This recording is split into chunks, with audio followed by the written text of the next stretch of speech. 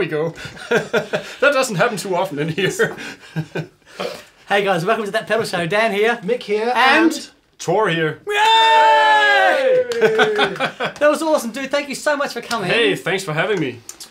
Um, j- a little bit of history. yes, unless you if you've been living under a rock for the last ten years, Uh, eight, 14? Yeah, 10, 10 is probably yeah, about right. Yeah. ish, Yeah. um, you won't know who Tore is. Okay. If you haven't been living under a rock, you will know that Tore is kind of the face of TC Electronic. Yes. Very that good. right? And what a face. Poor So- TC. a little bit of history. Yeah, We launched, the gig we launched our first product back in 2004, and we were at a guitar show. We had no idea what we were doing. And Tore came up and had a chat, and back then you were Sean, yes. very short hair, looked Yeah. very um, Proper. Pro- proper. Yes. Yes, and now he's turned into this rock star type dude. It's the uh, it's the midlife crisis, I guess.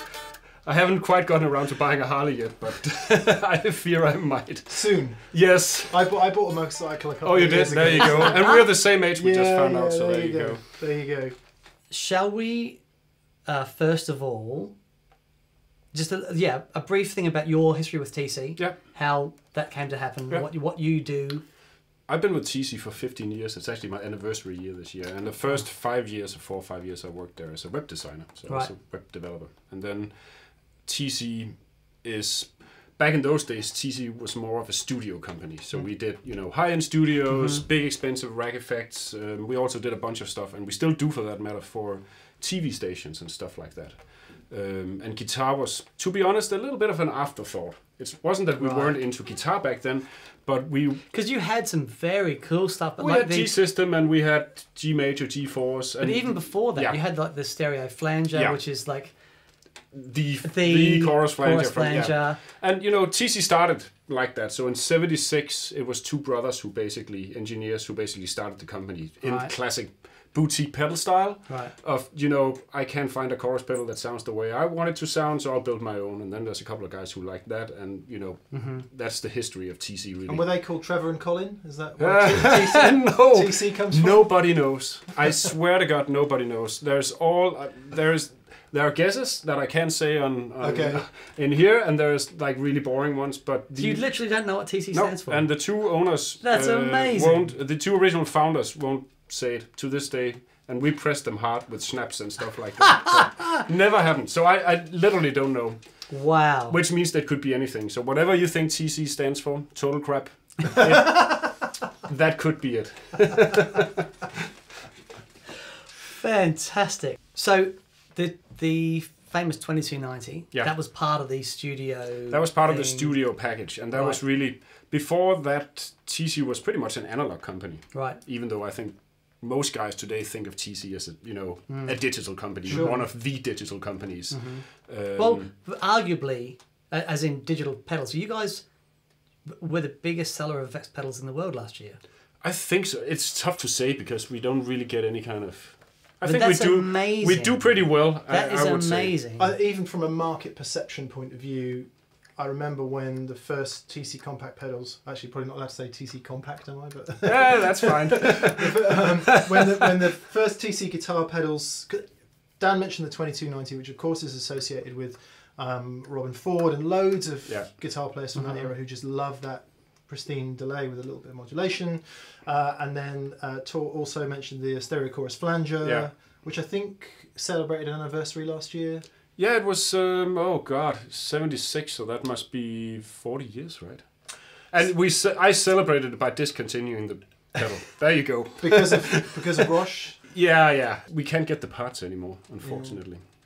We got one. We got one of the uh, anyway. So so it's not like TC wasn't in the guitar world, but then all of a sudden when these kind of pedals started turning up, and then you guys were everywhere. I mean, market share. Yeah, it went. It went pretty. I don't know what happened. I mean, we, I guess you know, whenever you know anybody who does products or does anything, you know, mm. you know, when you do videos, you want as many viewers as possible, and you try to come up with something that you hope people like. And the, the weird thing is, so when I started doing the pedal stuff or guitar stuff for TC, because originally, as I said before, we were heavily focused on studio stuff. Mm-hmm. And, you know, when you make a product, and this gets a little bit like product nerdy, but the idea is typically you build some sort of platform. You don't start over every time. You build a platform and you want to make a number of products mm-hmm. on that platform. So Yeah. typically, we would do back in the day, we'd do a 19 inch rack platform that we could do a number of products on. So a mm-hmm. delay, a Yeah. compressor, a reverb, a multi effect, and so on. And typically, once we've done like those products, we'd go like, oh, maybe we can do a guitar one. So that was really G-Force came out of that. Okay. It wasn't first option to be honest. I mean, it's still like you know a classic multi-effect processor, one of the first ones for guitar. Um, but it really was. There were other products that were more important to come up with because we're a studio company back then.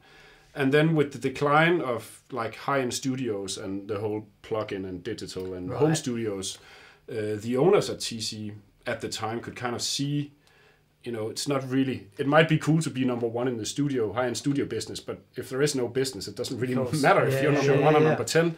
So they, I don't know, maybe it's because I can't keep my mouth shut about stuff. They asked me if I might want to do that instead of doing web stuff, and you know, that's a dream come true for anybody who's nerdy about guitar stuff, I guess. So I said yes to that. Um, and coming up with some of these pedals over the years, I, I mean, I wouldn't have dreamt that they would be as successful as they were. That's that's But- humbling. the the huge success of the TC pedal side of things started with you. The Uh, new breed of the yeah, you it know. started with me and the engineers. I have to say. I, Yeah, yeah. but it's amazing. It is amazing. Yeah, I mean, in terms of technology, uh, for anyone who doesn't know, actually, we should just say if you um, notice an accent on uh, Tore here, it's because he is he is from Denmark, yes, uh, and um, along with our good friend Danish Pete. um, is that a thing you got to do every time, or it, it's, we, we, it's, we have a one honk policy. yeah? Uh, we can mention the name once, he gets a honk, but the, every time we mention Danny Pierce It- after that, he- we're fine. if it's somebody Ah, okay. famous that we know and we we meet, we have to know out them. with, We have to know them and have a Oh, conversation. Okay. because quite often we'll be making a video and we'll be go, oh yeah, when I was hanging out with Joe Bonamassa, Oh, good. because it's just a massive name drop. Yes, and we can do that all day if you yeah, want to. yeah. So, so I think the horn's going to get honked a few times today. But anyway, so so Denmark, for anyone who doesn't know, is a country uh, to the right hand side of England, north of Germany, in Europe. Pete gets asked this a lot. Yeah, Where is Daneland? Inland, yeah, And what, what language do you speak yeah. there? Danglish. D- yeah. Anyway, okay. So that's where Denmark is. It's a tiny country, Yes. but it has an incredible number of guitar effects. Yeah, it's kind Significant guitar Yeah. effects manufacturers. And we're all good friends. Is the other part of it. Uh, I mean, there's so many pedal companies coming out now. It's like you know, you open your eyes and you know, there's like ten new ones out there. But all of the Danish ones, or most of them at least, are um, have been around for a while. So TC is kind of like the granddaddy, old grey-haired granddaddy. Uh, uh, but to the north, like half an hour's drive, is Carl Martin. Great company. Great some company. great pedals. Really nice guys. Um, in the same city where TC is, is also Emma Pedals. Great. ReezaFRATzitz. Yes. Awesome. Awesome, Awesome, pedal, yeah. the discombobulator, Discombobulator, Yep. awesome auto wah. Um, and the guy who makes them, Jan, is an old friend of mine from. Oh, cool. You know, he has a he has a guitar store. That's where I buy all my gear. Usually. Who is Emma?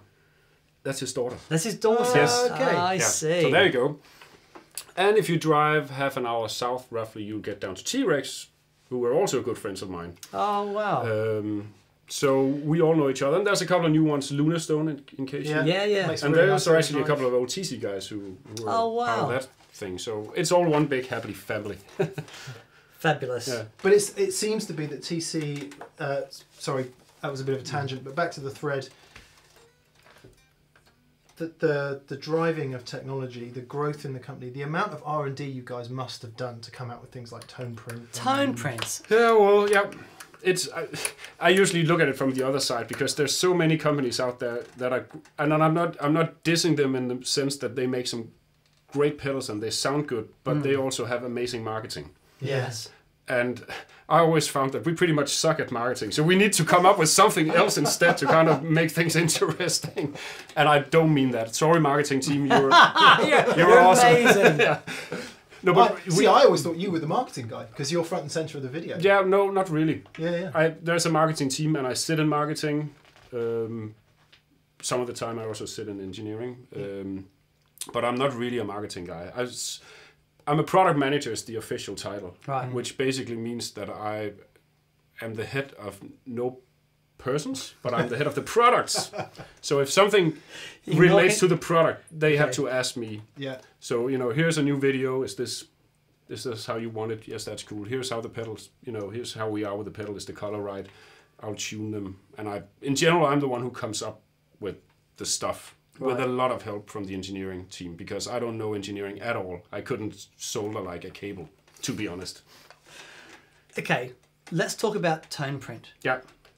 uh, because when I first heard about that, it blew my mind. But then when I saw how you actually get the tone print Uh, into then- the pedal, Yeah. So this is this is your idea. Uh, the tone print, uh, the actual tone print concept is Yeah. my idea. The actual the beaming, crazy beaming thing is not my idea. I wouldn't Right. know how to do that because Okay. there you go. It will happen. Keep talking. Okay, Yeah. so that whole thing actually came about. So we have a product called G System, and Yes. around eight nine years ago, I was kind of thinking about some new products to do, and I wanted to do a G System too, because it's been around for a while, Mm-hmm. and now I can actually kind of tell it's been around for even longer because we still haven't gone around to that. But that's a pretty expensive, like high-end Mm. multi-effect product. And then right around that time, the whole market crashed. So it was, you know, mm-hmm. nobody had any money. I'm like, oh damn, that maybe it's not the best time to come out with a two thousand dollar multi-effect processor. So I'm kind of looking around for some other things to do, and I was thinking that you know maybe we should try to do some pedals instead, like single effect pedals that are really simple. Because even though TC even more so back in the day, uh, back around that time, we made pretty complicated products. It was also a lot of, always a lot of press and hold and presets and you know all this stuff. And uh, I'm very much a simpleton, so I actually wasn't making products for myself as much as I was making products in like the TC spirit, so to speak. And So I was like, oh, let's let's try to change that. I want to make some products that are more the way I like them, and maybe change what TC is about. Um, so I was thinking about that, and we made them really simple. But at the same time, what kind of annoyed me was that when I'd go into a guitar shop and you know you look behind on all these great pedals that are here, you know you guys probably have some favorites among all these pedals. So you, you line up all the delays, or you line up all the overdrives, and you have this is the one for me. And this sounds good, mm-hmm. but it's just not right. Mm-hmm. They're not quite right. What I found was that it's typical tiny little differences. Yeah. It's not like, you know, one sounds like completely crazy silly and the Yeah. other one is amazing. It's typically, ah, I just like the way the decays trail or yeah, I like the just EQ it- yeah, a little bit. Yeah, yeah, yeah, yeah. And I'm like, you know, as as pedal designers, we make so many choices Mm. for the customers. Mm-hmm. We got this is the way it's supposed to sound. And you might, you know, yeah, you you will hit somebody who find that's the perfect sound, Mm-hmm. but there will be just as many or many more that won't exactly like it. So I'm like, what if you could actually change that? What if you could actually dial it in exactly the way you want it instead? Mm. So that was the first idea that basically kind of birthed the whole uh, tone print concept. Was the idea that you could actually change how the pedal sounds. So you make it simple, and you can totally use the pedal as is. St- it's still that way. You don't have to mm-hmm. dabble with the whole tone print stuff. There's a bunch of different sounds that mm-hmm. I tune, and if you like them, cool. If not, there's the next step. Mm-hmm. Because the first the first idea was basically to go straight from there to an editor that you could open up and just go nuts. And I got a little afraid about that because it's it's quite a daunting task to open that up and Right. kind of look at all this stuff. And if you don't know, if you don't know about effects and how you you know how is a chorus actually made in terms of like you know the actual Splitting of the signal, yeah modulation, and yeah all that all stuff. that yeah, stuff yeah, yeah. LFOs and things like that. Mhm. Yeah, you know it can be a little hard dialing that in. So it's kind of thinking about the fact that if you buy a signature pedal, so let's say you you buy an MXR Phase 90 Yeah. and then you buy the MXR Phase 90 Eddie version. It's roughly the same. uh, It's the same pedal with a few tweaks. Mm-hmm. So I was kind of thinking, what if we could do the same thing, but instead of actually having to buy the pedal and the whole, you know, the signature, and you know, it's a little bit sometimes having signature pedals like this Yeah. is a little bit like putting a, a poster on your wall saying, "I love, Yeah, I yeah, love this course. guy." Yeah. Um, so I was kind of thinking, what if we could do the same thing, but instead of having to buy the pedal, you basically just load it in digitally instead. Yeah. So that basically became the tone print idea of talking to all these artists. The funny thing is, when when I came up with that idea, and we'll get all these amazing artists, and they'll do all these sounds, and it'll be for free because they just love TC, and they'll be all happy. I, whenever I present a new product, I have to go to the owners of TC and go like, you, it's like an elevator pitch. So you go like, Yeah, here's two minutes. This is why it's cool. And I remember s- saying all this stuff, and in the back of my mind, I'm going like, it all sounds great, but how the hell are we going to get all these artists to do this? This is impossible. I was like, I'm setting myself up to fail. Like, if I was thinking. I was thinking the same thing. You're going to the bosses saying, right, what we're going to do is give people a reason to only buy one pedal instead of five, yeah, and we're going to make all these sounds available for free, and they're going to be free. yeah. and the bosses are going, hang on a minute. I don't just- know. We've thrown away that 100 sounds million. that sounds wrong. But you did it, and that's I'm, I'm constant. So, quick recap on on Tone Print. If you haven't seen Tone Print, um, we've we've looked at it a few times on on that pedal show, but um, it's an app that you can get, I guess, for Android and for Yeah. iOS. yeah, Um, and you can choose your product. So what have we got on there? We have a flashback uh, delay, so we can choose the flashback delay, and up comes a whole load of different sounds done by famous people, done by um, TC, Andy Summers there, Ollie Freed, some really really cool guys in there, Brent Mason. There's Paul Gilbert. this is where you'd actually yeah, go. yeah, yeah, yeah, yeah. and you can just you can just keep going with the, with the horns. The- the- It's a staggering array of artists. And just sorry, just to finish that. So you, you pick one. Um, you go. I want Charles Cave's slow dive. Uh, tone print. You hold it over the pickup of the guitar. Right. So that's the. Okay, it's on. You don't even have to press anything. And Dan loves this bit. Okay. Okay.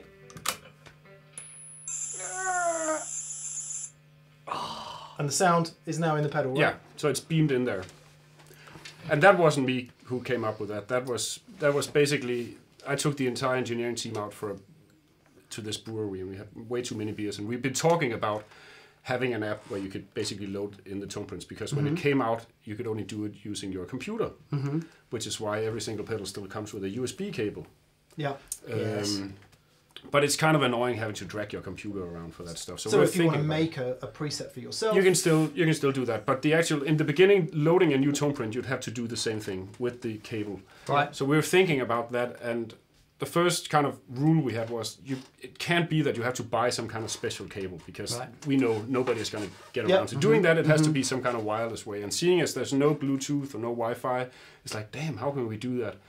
And I can't remember. One of the engineers kind of went like, "Do you remember back in the day when the very first remote controls for TCs actually played sound? So you had like four channels in your TV.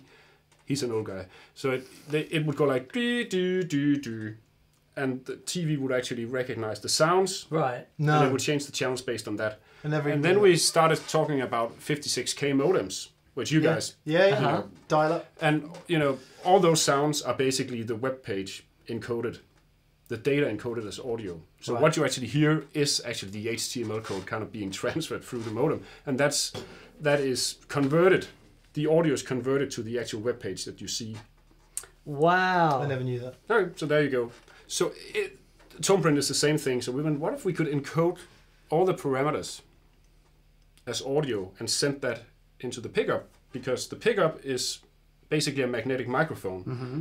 and a speaker, not the actual cone, but the actual magnetic. What do you call that in English? The, the coil or whatever it is. Yeah, The thing that moves the speaker, right? Voice call. yeah. The voice coil, yeah.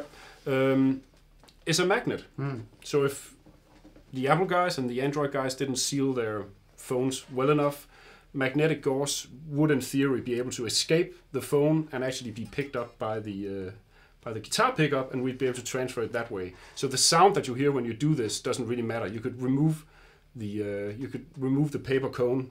It's just the magnetic vibration that's No. that's important. So you could, if you put it on silent, can you still do it? No, because the silent thing will actually turn off the vibration as well. Ah, But I if you see. if you Okay, imagine alright. that you just re- you have just the magnetic bit move without this, I mean it's the it's the cone that pushes the air so you can hear it. That thing is you can yell over it. It doesn't matter. Okay, got So you can do it in any kind of noisy environment because it's not the actual sound. It's not the loudness That of the sound. It's the, it's the changing of the magnetic field. Yes. Uh, Yeah. the That's same way that you amazing. the same way that you can't well sometimes you can if you have a mic- uh, you know a microphonic pickup but typically you can't yell into your micro uh, Yeah, to yeah, your yeah. pickup and hear yeah. anything. Oh my god! Can we just hear what Charles Cave sounds like? We gotta set it to the tone print setting. And it will be. Uh, it should be yeah.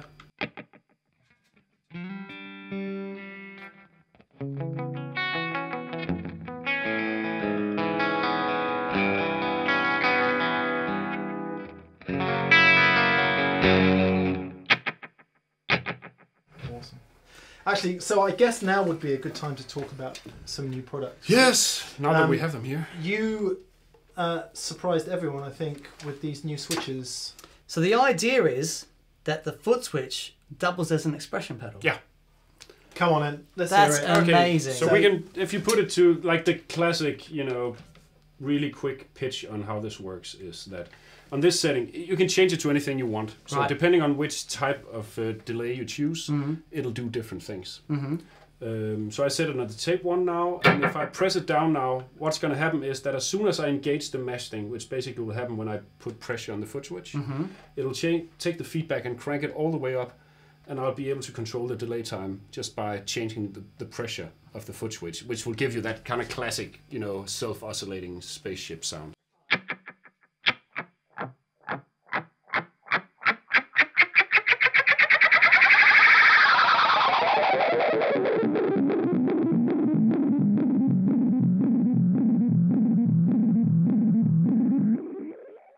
There you go. That is awesome! Come on. That is Come on, awesome! do that again, Dan. Yep. So it knows. It knows that I want to mash. Yeah.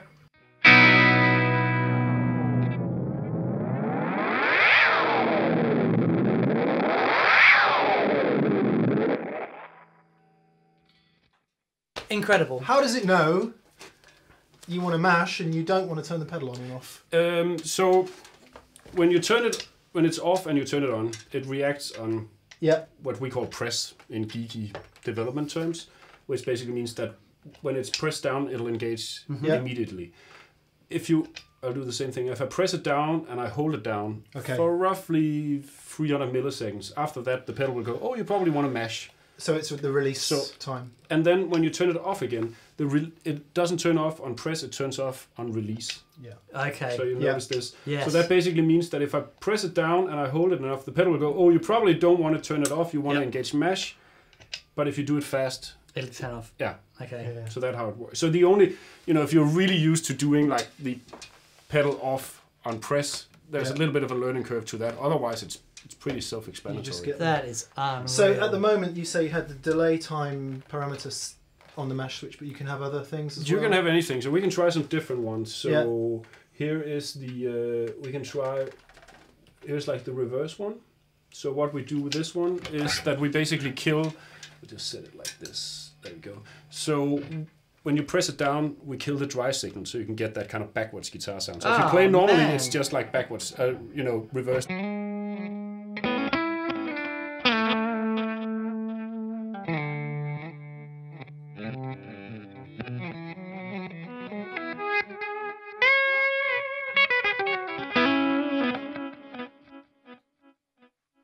That's unreal. That is unreal. I, so I um, just recently I did a couple of Hendrix tribute gigs, and we were doing uh, Are You Experienced, which has some reverse. Yeah. I guess it's probably reverse reverb. But Yeah. Anyway, whatever it is, I was it was I was trying to find something that would do the reverse. Yeah. I didn't have to have a whole pedal just for that one job. There it that will, is. That will do it. And I, I, it I use it for that trick, partic- specifically doing the Hendrix stuff as well, because it's fun to play regular, and then you can just throw in a couple of backwards things, and then you're back to Give me some fuzz on, Dan.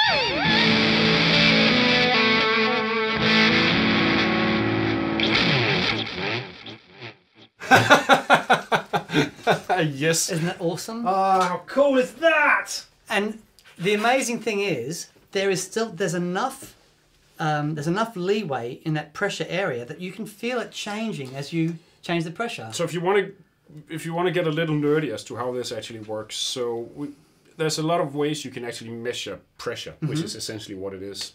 Um, what we really not wanted to have happen was that you actually kind of apply force to the actual circuit board.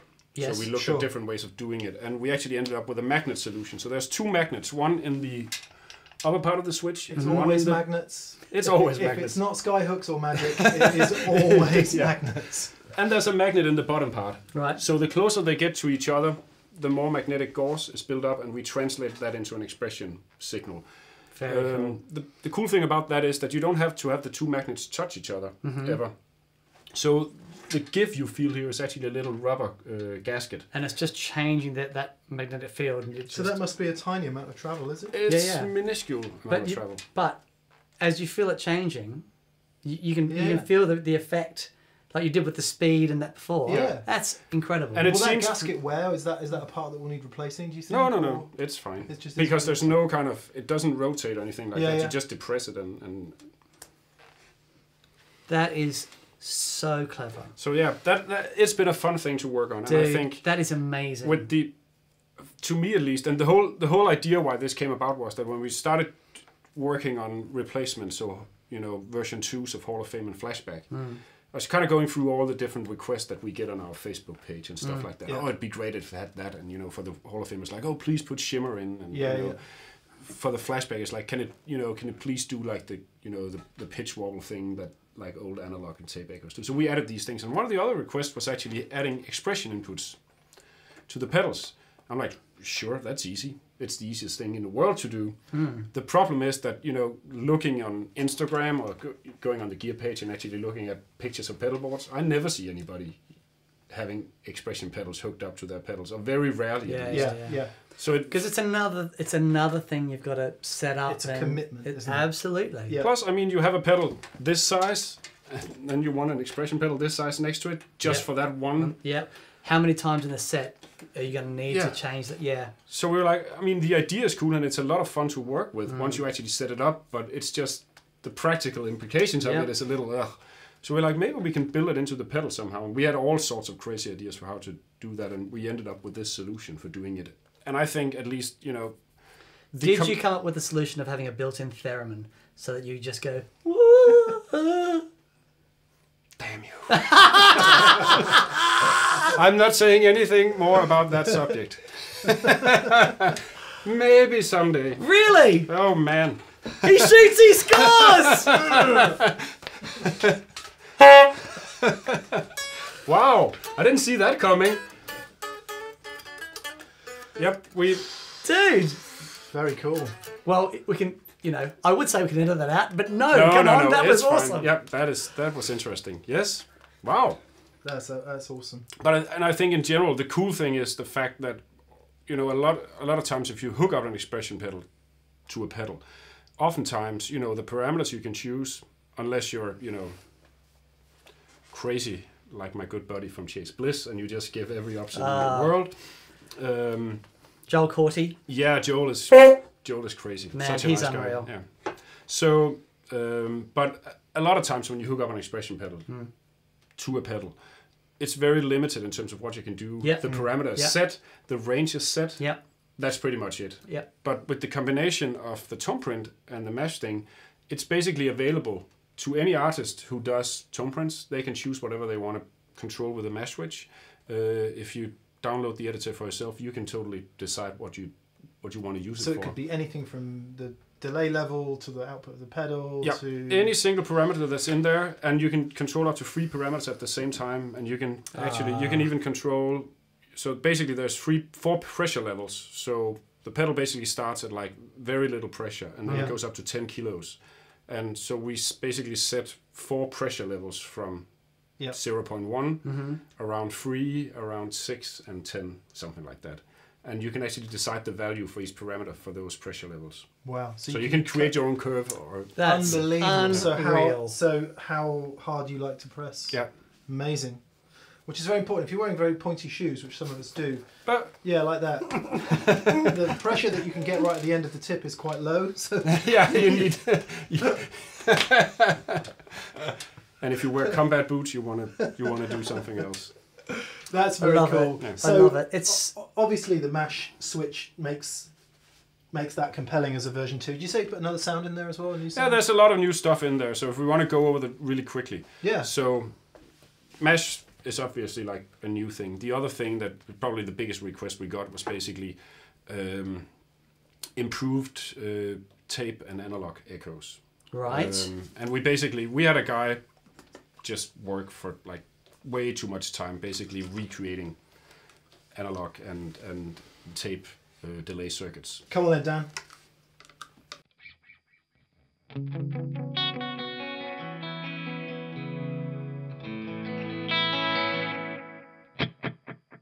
Can I ask a question? Yeah. Is this a, just a range of delay times? Um, it is a Is it pre-delay? It's it's a range of delay times. So if you like your to tap your delay tempo, yeah. Mhm. you can actually hook up an expression, uh, a tap tempo foot switch to the stereo input. If you don't use that, and then you can tap the tempo. So what this does is in the butt top position, if you tap quarter notes, you get quarter note delays. If you tap quarter notes but you set it to the middle position, you get dotted eight notes. If you tap uh, the bottom one, if you tap there, you get quarter notes plus dotted eight notes. So like classic U2 and Dude. Okay. So right. Oh, man. That's that. So that is. It's so clever. Okay, here's a question. Yeah. Here's a question. Sorry, I want to have a listen to this first, then.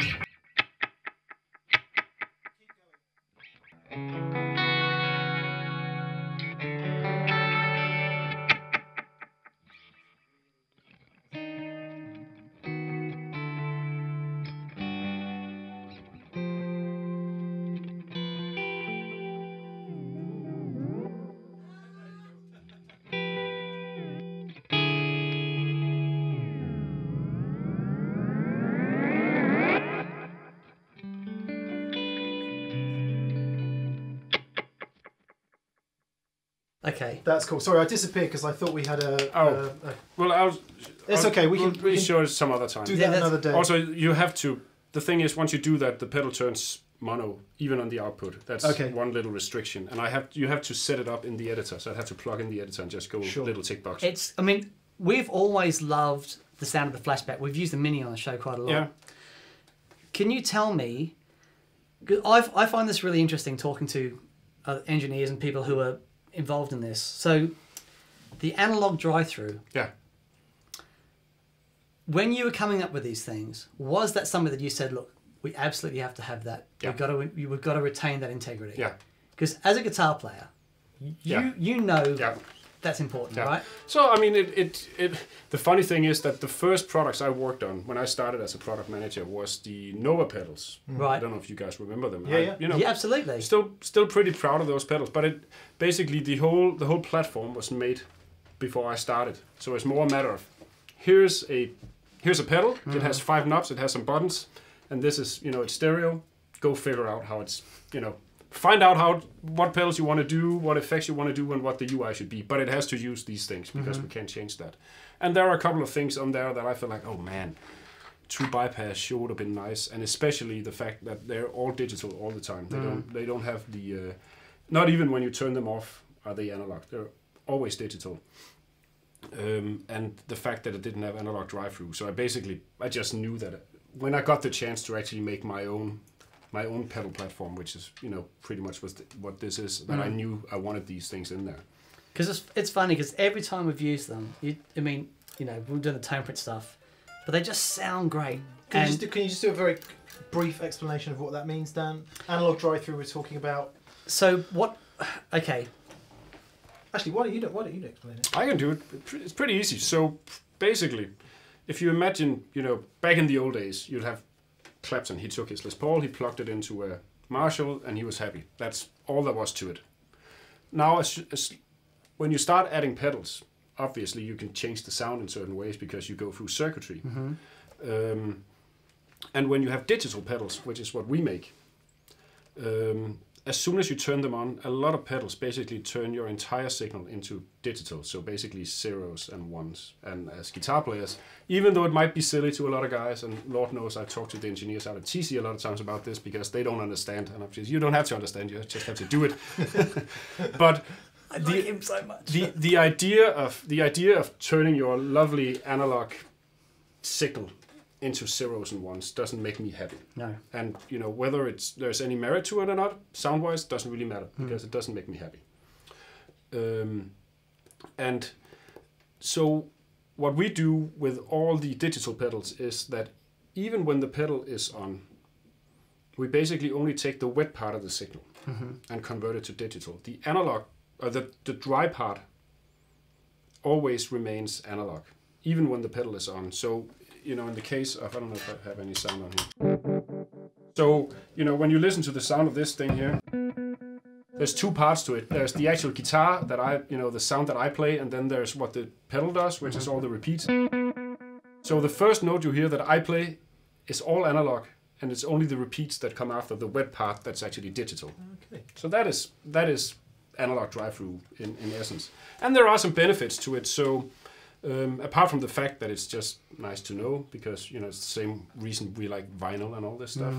Um, converting something from analog to digital, and then back from digital to analog again, will actually take a little time. It's a very short amount of time, Yeah. but it will actually Yeah. take a little time. If you have one pedal, it's nothing. It's I think on TC pedals it's 0.3 milliseconds, which is like stupid little. Yep. You won't be. It's, it's the same as if I walk to the end of the room and the latency from the amp speaker Hitting to hitting Yeah. is the same. So it's nothing. But if you imagine you stack like ten of them after each other and Yep. they all converted all the time, you'd start to feel it. You would actually start to feel a little latency. Latency. Yep. The other thing that's a benefit to doing this way is that doing that conversion also inevitably adds some hiss. Depending on how much is depending on the quality of the converters and the Yes, whole uh, yes. circuitry, but it will add a little bit. Mm-hmm. So if you convert the entire signal, you will get more hiss than if you only convert half the signal. And then presumably, if, if you're then generating extraneous noise, you then have to fix that. Yeah. So then there's other things you There's have to o- yeah, do, yeah. and And again, if you stack more pedals, yeah, Yes, you'll of add more noise. And another thing to consider again is if you have pedals that are all digital in front of drive pedals, Mm. Then you actually take that noise that they generate from the ADDA conversion yeah. and you boost that Adding by gain. you gain it up Mm. by a thousand times, which will of- often happen in a drive pedal. Mm-hmm. We've So- talked about this on the show many times Mhm. about noise and everything, Okay. and yeah, okay. So, so impressed. Let's have a look at the um, the updates of the Hall of Fame. Yeah. Uh, because this is a classic. Well, I first had to play this when I did Guthrie Govan's board for Steven for Steven Wilson. You could actually tell before you were ready. I didn't And actually. name know, drop was, was, coming up. I, I was about. I was checking my notes on the floor, and, and I just. Yeah. And the thing that impressed me so much because uh, Steven Wilson's gig is Ooh. is, is more about reverbs than delays, Yeah, and he could do the whole gig with the Hall of Fame yeah. just by Changing things different. here, and it was, you know, amazing. Um, so, th- the and then the Hoff, the mini Hoff, which Yeah. is just the. I mean, was that an accident that it was just called the Hoff? Uh, basically, there wasn't room to write Hall of Fame on it, so we, we'll just we'll basically just you know. But it became the Hoff. Yeah. You know, and that's Yeah. just the coolest thing ever.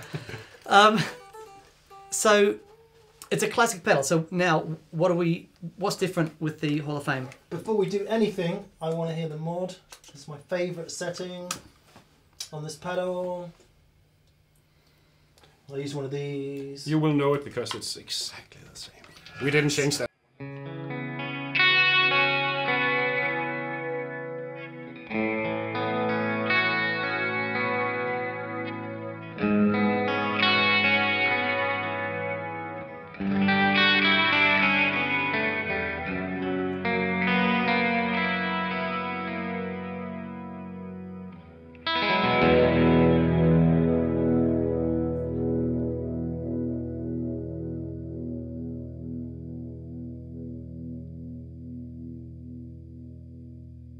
Very subtle on that one because I, I actually I, I was so pleased with that sound that I didn't want to didn't want to make it l- Yeah, yeah. less modulated when you didn't have the mesh engaged, and I didn't want to have it Yeah, much more modulated when you Right. engage it. So it it does do a little thing. It basically changes the speed yeah. of the modulation to make it slightly more modulated, but Right. but not a lot. It's on the subtle side. I was just afraid of messing with it Yeah. because I think I stumbled onto something with that with that sound. I, I use the uh, original Hall of Fame, and that's that's the how I have it set on the, Right. on the mod setting. Okay, so come on then. Let's talk about some. Where, where are we mashing on here then? Okay, so um, we can try the uh, if we do the shimmer one, we can try that because that's that basically is two of the new things in this pedal. There's three things, so it's easy to remember.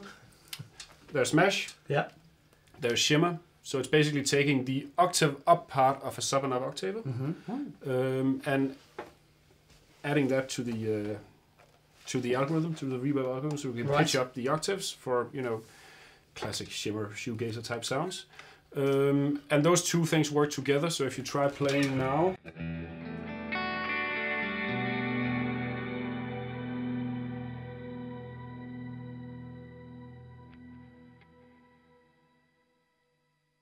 so you can That's hear it. awesome.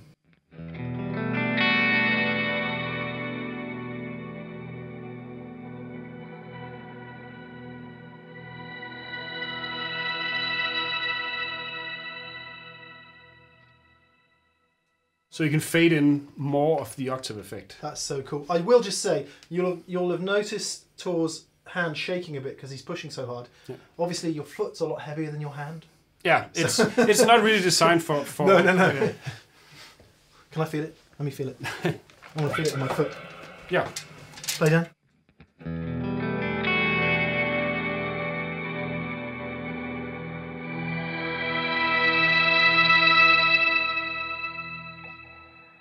It's so clever. I, I deli- so we've had these pedals for a couple of weeks, and we deliberately haven't plugged them in because I wanted him here when we did it, so that we did it right first time, so that we got the full effect. That is crazy good. Yeah, yeah, that's a that's a nice one for it's sure. amazing.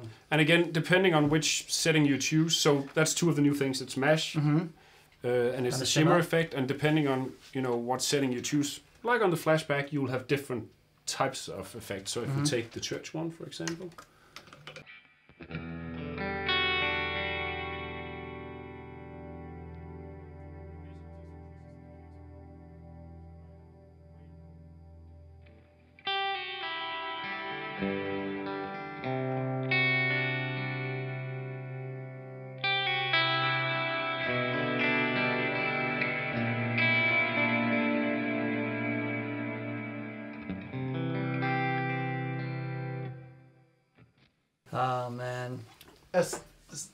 beautiful, isn't it? there's music in there, you know, because there's so many pedals. With due respect to every pedal ever built, because it's a labour of love and all the rest of it.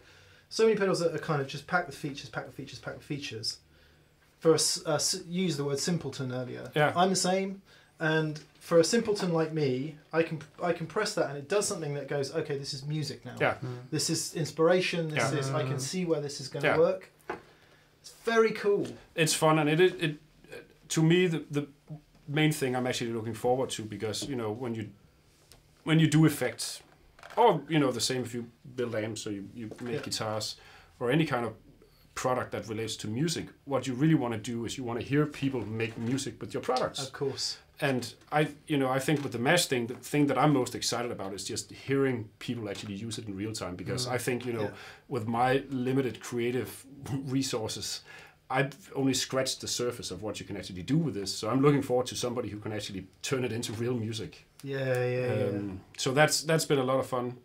So the last thing we mentioned, there's three things. The Yeah. last thing is that, and this goes for both of them. There's three tone print slots. So it's basically when we came up with the original version of the pedals, I was a little afraid of adding too many tone print slots because nobody knew what it was back then, Mm. Yeah. and I was afraid of people going like, "What's all this weird stuff there?" I just want like church and plate and spring, you know, the regular stuff. Mhm. So we only put one in there, and ever since people have been, oh, please, can we have some more? So now there's three, and that obviously also the fun thing about that is it enables us to do some more little bit crazier sounds because people can always change them again to something else. if they Yeah. These the other ones, the regular ones, always always stay the same. You can't change the spring one, but on the other ones we can do some weird things.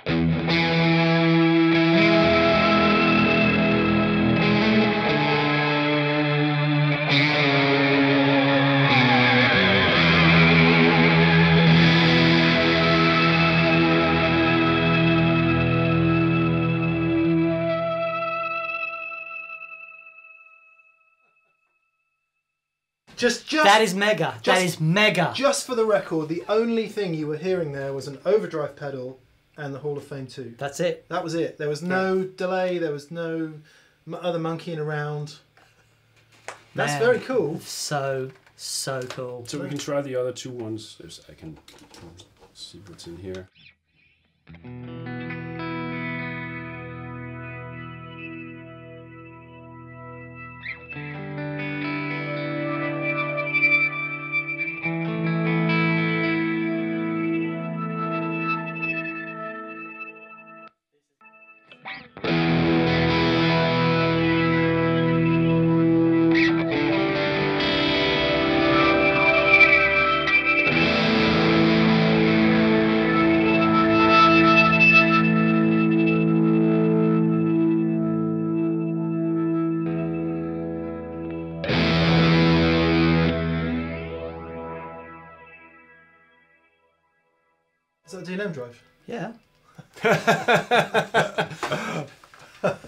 And we got to try the last one as well because it that's a that's a fun one. And I was actually a little afraid of putting that in there because it's kind of odd. So if you try playing something now, Okay.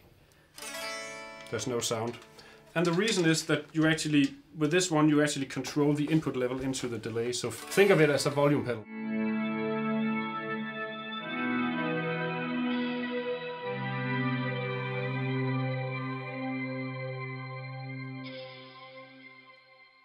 You've got a swell. Yeah, it's a swell effect, but you control it yourself with your foot. It's not an auto swell. You just basically Yeah, yeah, yeah.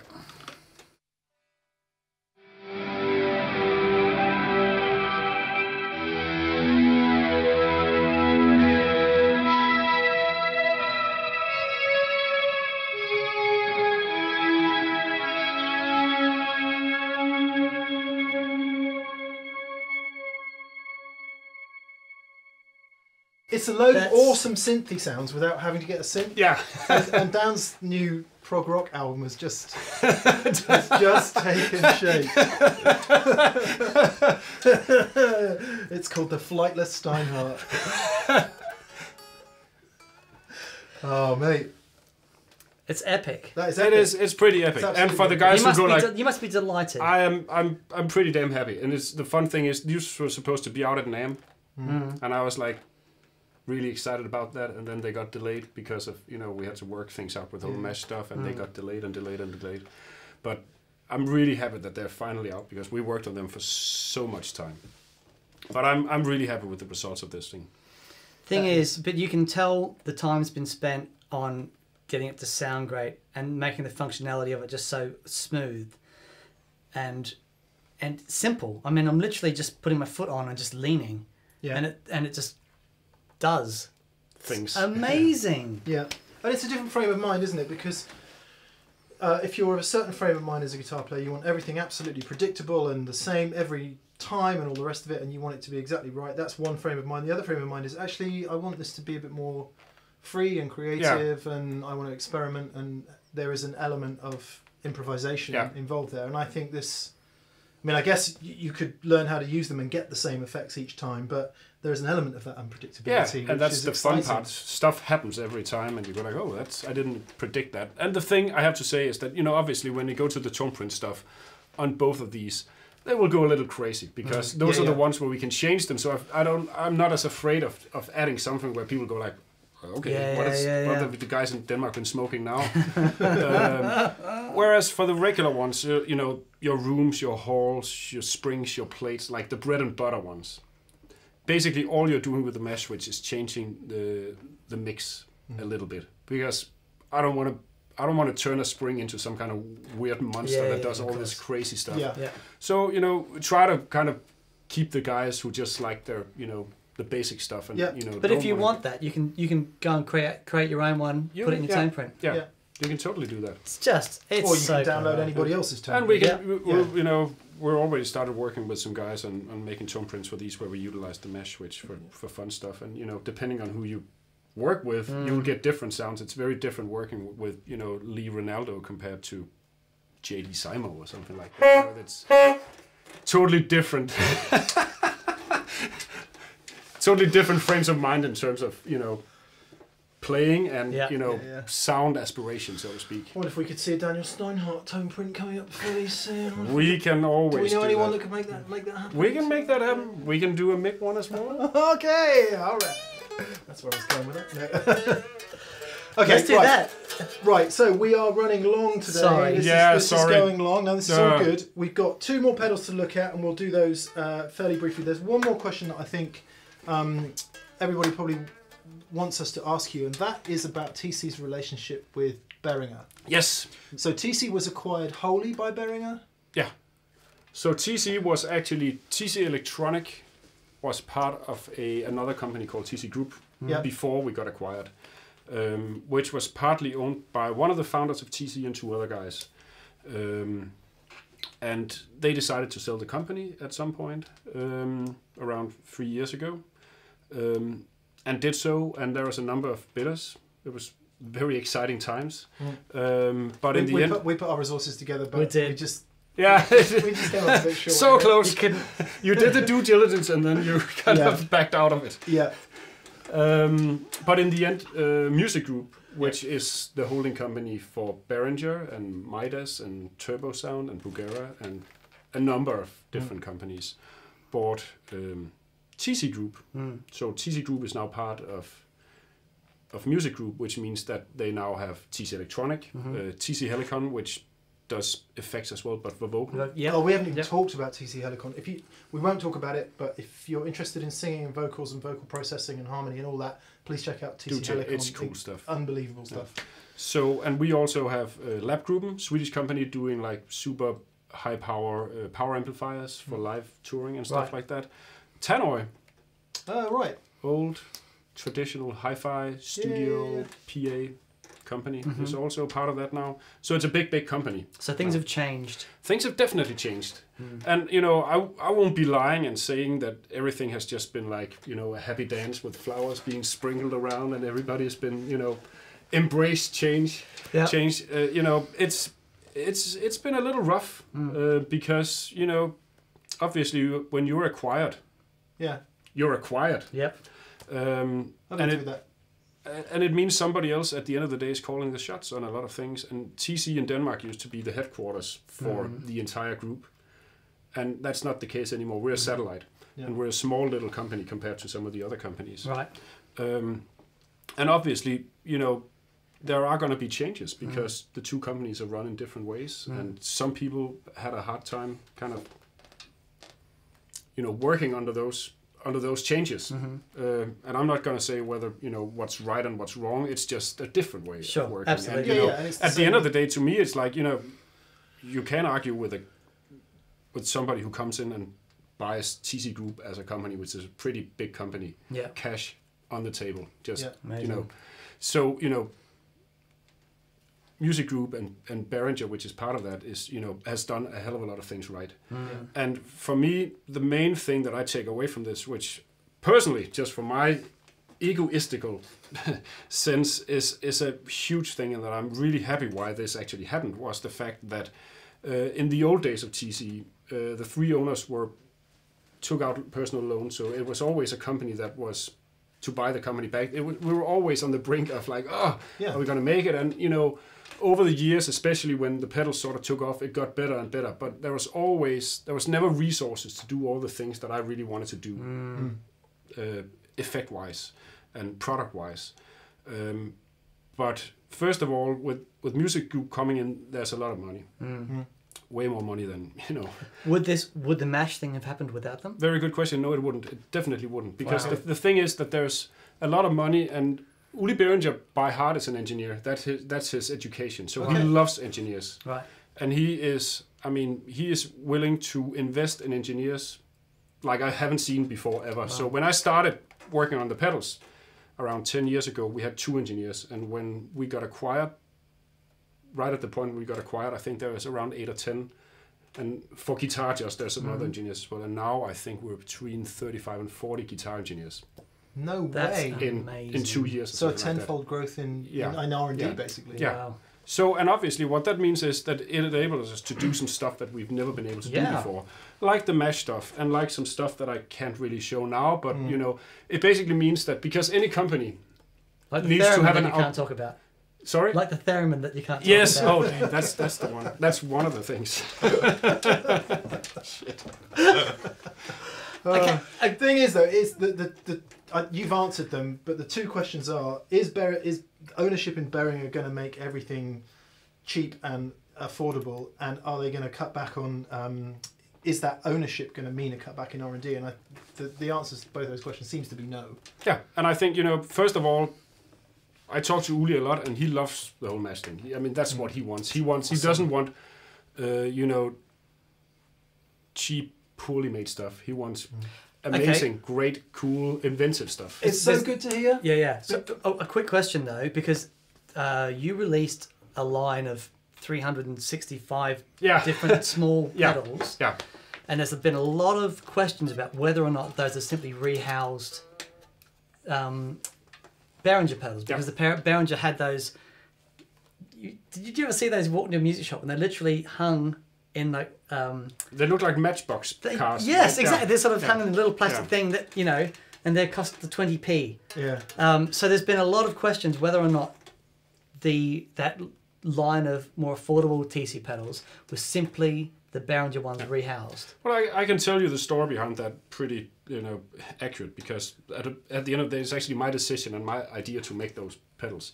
So the thing was that part of my job is also to discontinue stuff. So Right. I told you before I discontinued the Stereo Chorus Flanger. I also discontinued the 2290. So I'm the bad guy. apparently. Really? Yeah. Uh, not out of you know not out of hate to the product because I had to. Um, but so Uli basically asked me to discontinue all of the uh, all of the old Behringer pedals. Right. And I'm like, okay, I mean, it's some work, but I can do it. Uh, so I just we had been sent a ton of them, and to be honest, I'd never really tried them out ever. Yeah. So I just took them into the studio one day and I just tried them, and you know, some of them I didn't like, to be honest, but some of them I thought actually sounded quite good. Um, there was a couple of things, pretty much in all of them, that I you know wasn't entirely happy with, and the main thing that I wasn't happy with any of them was the actual build quality. It was basically plastic boxes Yes. um, yeah. that looked a little bit like you know a little bit like Boss pedals, to be honest. So that part I didn't like either. Uh, but I mean, in terms of just the basic sound of the pedal, I actually s- thought they sounded pretty good. Um, so I just came up with this idea that maybe if we put them in proper, you know, rope-worthy casings and tweak the sounds at least to where I like them, um, that we could make some really good sounding, very cheap pedals for hmm. beginners. Because I remember when I grew up, I you know Such a good point. a lot of the pedals I bought was just like, to be honest, they didn't sound really good. Yeah. Yeah. Yeah. Um, and you know, having being able to buy a pedal for you know, I don't know the UK price to be honest, but you know, fifty bucks is what hmm. most of them Yeah, they are like the forty nine pounds. Yeah, Yeah. Is- and you know, almost and I, I stand behind them one hundred percent. I hmm. think they sound great. So the answer is they are those pedals, but you have tweaked them. I You've- tweaked every single one, and the UI has been tweaked. So if there's a knob that I thought you know didn't make any sense, or if there was lacking a knob, or Right. you know EQ options on a drive, or you know if the range was weird, anything like that, Yep. we basically we tweaked every single circuit to the point where I think that they sound good. People Yeah. might disagree because they're very simple pedals compared Sure. to this stuff, Of course. Yeah. but you know. You know, they definitely they are at a spot where I stand behind them 100%. I think they sound really good. Great. Fantastic. And no, no, you know, nobody's forcing my arm behind you, saying, saying this. Not at all. It was, it was actually my idea to begin with to Right. do this. Amazing. Okay. Two more pedals. Quick, Yeah. a quick look at the. So this is the pipeline. Yeah, Uh, Tremolo. Tap tremolo. yeah. So So we can. how are we tapping?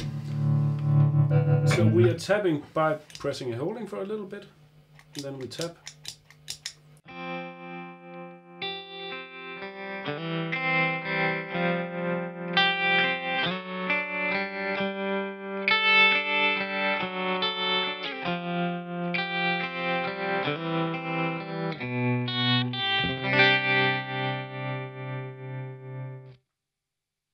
I like that. Any tone prints available? I don't know if yet? there's any. You, you tell me. I don't know. Okay, by product.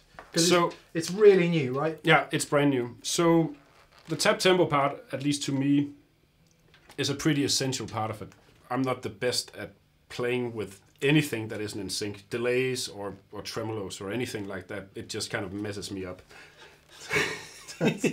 I said something before that I We just, we just had, a- we had a little funny that we that we had, Ah. that we had to cut, uh, and uh, Dan's, Dan's still Yeah. struggling to Yeah. hold on to it. It's Danish political uncorrectness Yeah, yeah. that I stumbled onto, Yeah. So and lack of grasp of the English language. so no pressure, mate. I think Brent Mason was uh, demoing this, wasn't he? Yeah, Yeah. Oh, really? Yeah. the tap. The, I already showed the tap part, so the other part that kind of goes along with this is the subdivision part over here. Mm. So, like I showed you guys with the uh, with the subdivision on this one, where you can get, you know, you tap quarter notes and you get quarter notes or dotted eights. Same goes here. So we can set it to, for example, we can set it to triple eight notes. So if I tap now, we go one, two, three, four.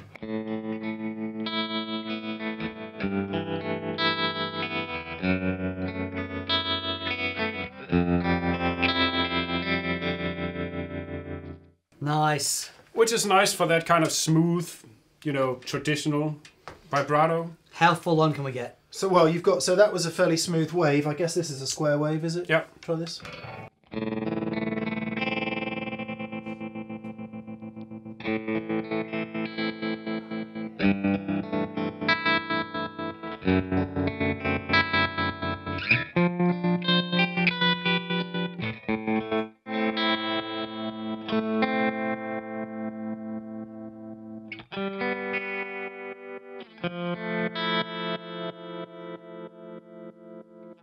Weird thing about that, so we, I, I guess we just can't help ourselves. Sometimes we just make weird things. I don't know why. so when we did the, the tremolo pedal, for some reason we decided to put two tremolos inside, two completely independent tremolos, and you mm-hmm. can't toggle between them. It's not like a fast and a slow Sure. speed. But what you can do is you can actually morph between them. So you can either have, so you set them up in the editor, mm-hmm. One and the other, and then there's one slider that basically goes if it's all the way to the right, it's just the one tremolo. If it's all the mm-hmm. way to the left, it's just the other one. But then you can actually morph between them. Oh. So you get like totally weird waveforms with like a sine wave and a square wave combined, and this is what you hear there. It's actually you can hear the kind of weird So curve that's of the always in the tone print position, is it? yeah that will be there. But if you you can change that to something else. Yeah, yeah. Yeah. So there's like the classic two like you know vintage style Mm-hmm. amp uh, tremolo. And there's the square wave, and then the uh, the tone print thing is where you can go in and go nuts and do silly And stuff. do these controls then control that wave, or do you have to do that in the No, editor? it, it's just this. You'd have to do that in the editor. Yeah. I mean, theoretically, you could just you could actually have one. Well, never tried that, but you could actually have a knob that does the You could, you could totally say, I'll just set the volume, for example, to where I like it, and then I'll have a slider so I could go like from one Yeah. to the other real easy.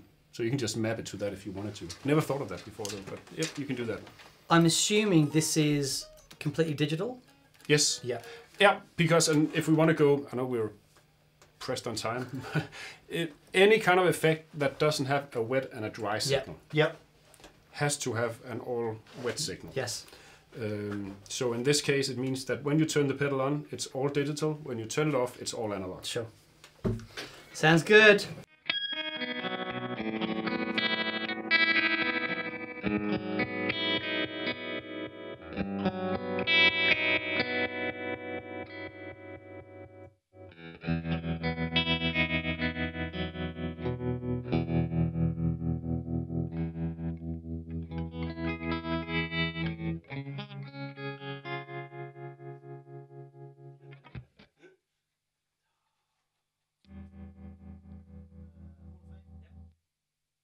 Oh, it's Yes, on it is. the. It's on the- uh, Ah. I'll just do something.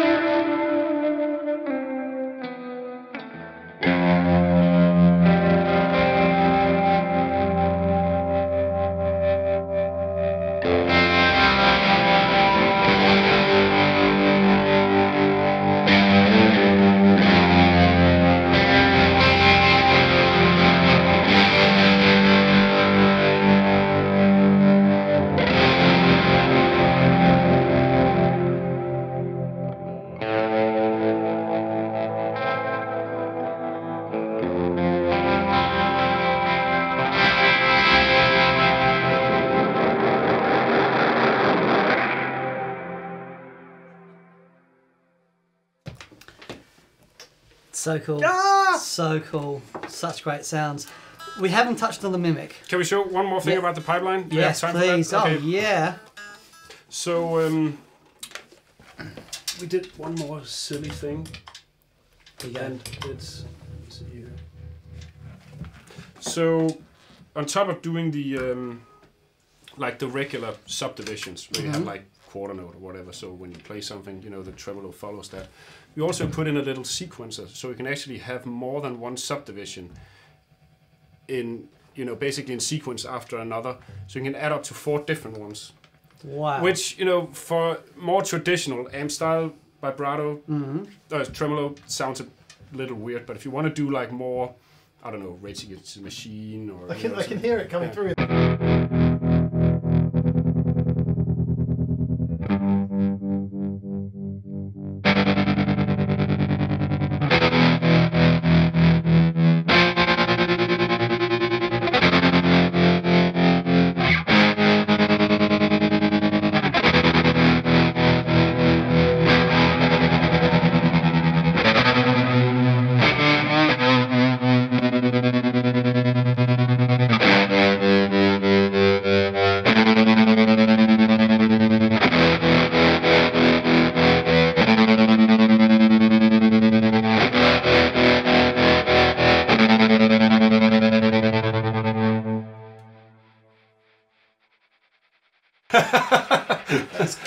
Colossal, and you can you can set those. Yeah, on the on the it- on the default sound, it's just this one. So Mhm. it's uh, I can't even Yeah. remember quarter note and triple eight notes, something like that, I think. Mm-hmm. But you can actually set up to four different ones in succession after each other if you want to. We did one with you might as well get this. We did one with Scott Holiday from Rival Sons. Ah. And um, what he wanted was basically something. He was just playing like crazy long power chords, and he wanted something that was like super slow. And then after like four bars or three bars, it went like so. It's like Wow. so, and you can set that up in there, so you can mix and match any kind you want. But he can do that because you can tap in. Yeah, you can tap the, the tempo, so it'll always follow the music. That's extremely cool. And the last little bit that goes along with this is the fact that you know when you have a lot of a lot of any kind of pedal that's LFO based, hmm so there's some kind of movement to it. hmm Uh, typically, they'll run all the time. hmm So you know whether the pedal is off or on, Low it's always frequency oscillator. it's always it's always running. So when you turn the pedal on, you actually don't know where in the sequence it's going to Yes, be, yeah, which yeah, is a little. yeah. If you want something like this.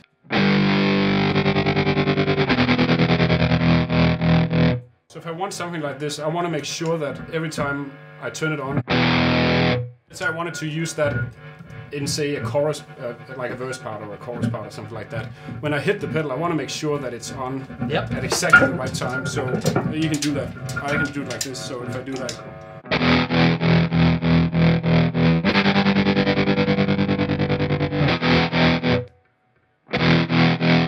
It always resets the LFO so that Yes, you're certain that it's it's in the right spot every Yeah, time. That so is you, so clever. the- the- you don't end up playing reggae instead because it's like. Yeah. So that was just a little extra thing for pipeline. Let's just quickly touch on the Mimiq because it's there. Yeah. And when I saw this, I thought, how clever. I did. I thought, because it's that. Um, so you, you take us through it and tell us exactly what it is. Okay, so this comes from the fact that I'm actually a, a metal guy at heart. That's where I, I come from. My musical roots is playing metal stuff. And not Don't- not the the not the not the pretty metal stuff. The you know tuned down to B, crazy Ah. growling kind of Cannibal metal. Corpse. Yeah, I like that. My Carcass. Yeah. You know some of the British bands I like. A lot of Swedish bands. So I, I played that for a long time. And one of the things that we always do in the studio is double, triple, or quadruple rhythm guitars to Right. make them sound fatter. Um, and it, I mean, I've never done an album with any of the bands I played with where we haven't at least doubled Right. the rhythm guitars. So when you go and play live, either you just go like, oh, that we don't get that sound, too Right. bad, which is okay.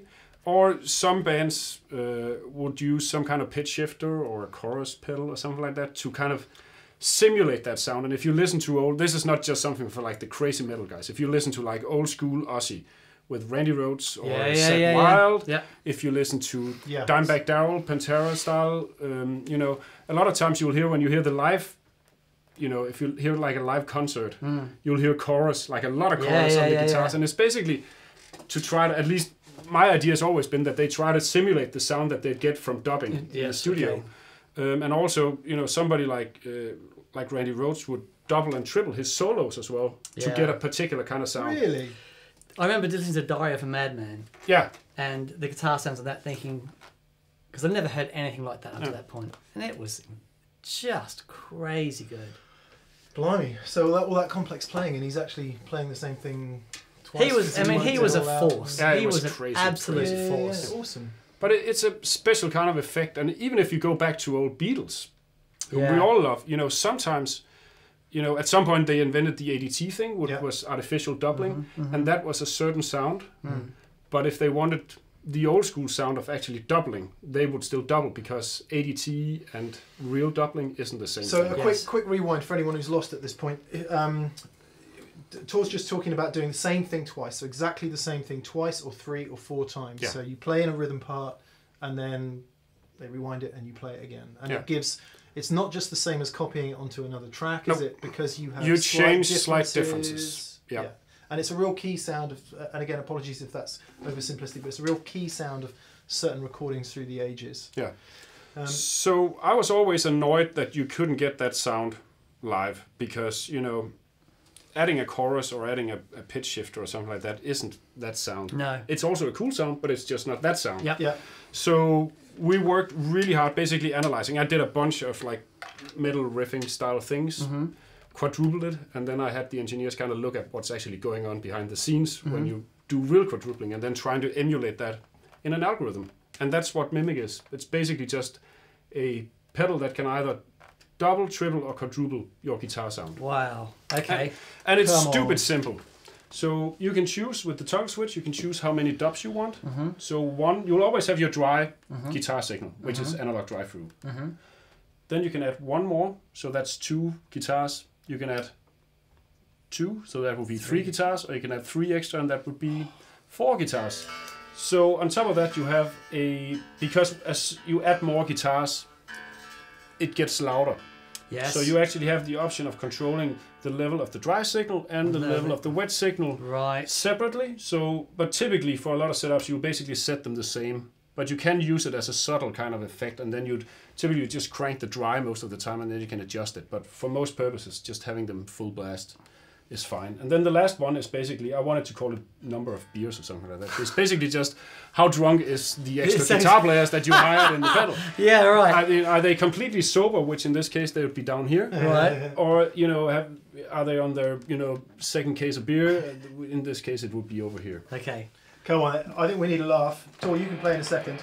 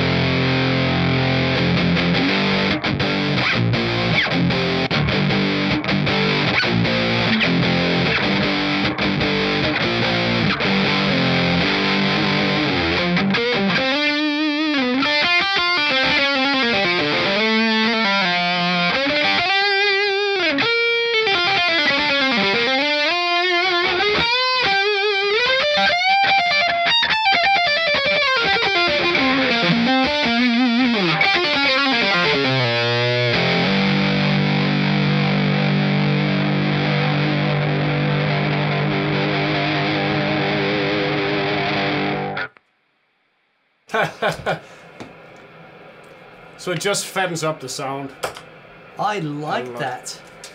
Could- would you mind playing something? Just Yeah. because you'll probably be.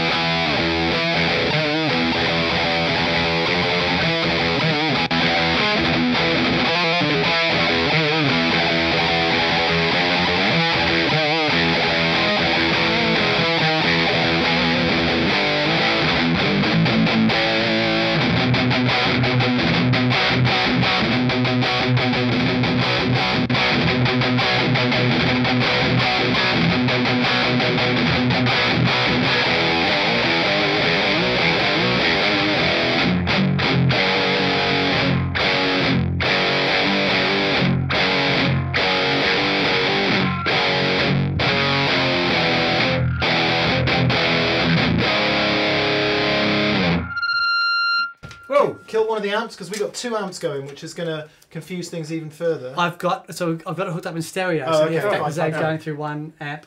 right. Okay. Yeah. And when you hook it up in stereo, which is really where it shines, it, it sounds good in mono, but it becomes a little bit more of effect because of phasing things, Yeah. Yeah. which is cool as well. Mm. But if you want that more really realistic sound, um, stereo is definitely the way to go. And the way it's designed is that if you set it to one dub, you have dry coming out of one output, wet coming out of the other. So one doubled guitar, especially two guitar players playing into two separate amps. If you set it here, it's too wet in either side and then dry in the middle. Oh right. And you set it down here, it's two in one side, two To on the the other. other side. Okay. No way. That is so I'm cool. looking So I put it on forward to hearing the two, audio. Yeah, and it just yeah. went, wow, Yeah. man. So it's just, and I, you know, I've I've been using it both when it was a prototype and uh, and after it came out, and it's it's a lot of fun. I like to use it. I play in a metal band, and I like to use it for the solo stuff, as you Yeah. know, for just getting that double solo thing. But what we actually use it for, me and the rhythm guitar player in the band, and I have a little uh, I have a little quartermaster. Right. Ah. Yes. Um, and uh, the way we set it up is that I have one amp for my rhythm sound, Mm-hmm. a an EVH metally thing, and then I have an old Marshall for my lead sound. So I have Wow. two totally separate amps Right. for rhythm and lead. And I, I was always annoyed that when I switched to the lead stuff, metal is all about being brutal and heavy, and you know, and it'd always be like when I switched to the lead, a little bit of the brutalness would actually disappear because you know there's one rhythm guitar disappearing, and suddenly I'm being all Yeah, yeah, whittly, yeah, yeah. whittly on top of that, and that annoyed me a lot. So what we actually did was that when I switched to my uh, my lead amp, the rhythm guitar player in the band actually hijacks my amp going into the quartermaster on one on one loop. So he basically he plays with his own preamp but into the power amp of the uh, No way. of the EVH with a Mimiq on there. So as soon as I hit that, he basically takes over my rhythm amp. So it's still nice Still and, huge. and yeah. Oh, that's really That's cool. so clever. So that's anyone- fun. Yeah. That's so clever. Yeah, Wow. Riley. So there you go, and it's a simple pedal, no tone print, no nothing. It you know it does as advertised. It Yeah, doubles Yeah, guitars. yeah. I but I love that you did it. I love that it was like, this is going to be really cool for met- metal players. Yeah. You know. And that you took the time because it's not a chorus. No, no, it's no. not just a modulating second thing. It's like No. you took the time to analyze what's going on when you double track. Yeah. That's very cool. Thank you. Well, all the credit goes to the engineers. That's no, have to very say, cool. It's They're very the clever cool. guys. Yeah, amazing. Well, um, it's been an absolute delight and pleasure. Thanks for having me. Fascinating. Yeah. Ah, Fascinating. Long video today, but I think with good uh, with good reason. Yeah. Lots of stuff there. Lots of stuff there. Amazing. Okay, guys, thank you so much for watching. Please don't forget to subscribe. Massive thank you to our patrons on Patreon. Thank you guys so, so much. Um, also to our preferred retailers in the UK and Europe is Andertons music. in Australia Oh, he's, he's throwing me. He's throwing me. it's Pedal Empire in Brisbane. and the USA. Rip City Guitar.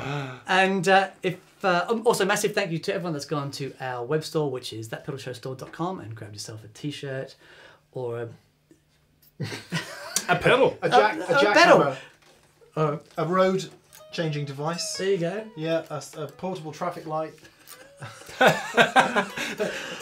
That'll come in handy. Yeah. We, we, yeah. Okay. Yeah. Thank you to everyone who's bought t-shirt. Yeah, cheers, guys. All right, and Biggest thanks, of course. Massive everyone thank you to Tore. Thank you guys. Well, thanks for having me. that was amazing. It's been a pleasure. No, it's It's been an amazing. Thank education, you. It's actually. been it's been incredible. Yeah. yeah. Brilliant. All right, guys. Thanks so much. We'll see you next week. Cheers. Bye.